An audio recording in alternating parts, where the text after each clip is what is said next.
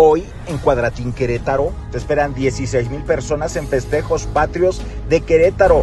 Tribunal Electoral de Querétaro da validez a la elección de Felifer en la capital.